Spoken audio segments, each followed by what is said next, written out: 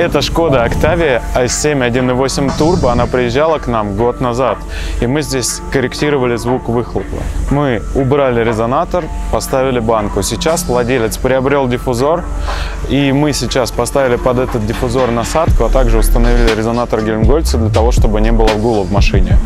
В дальнейшем э, владелец уже приобрел турбину ИС-20 и будет свапать ее. И после этого, я думаю, что он выберет компанию, я надеюсь, это будем мы, кто будет устанавливать ему даунпайп.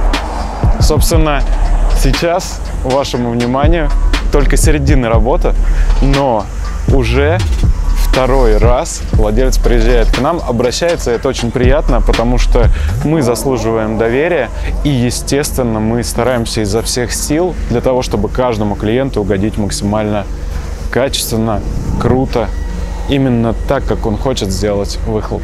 Не буду много болтать, ваше время это деньги, погнали смотреть.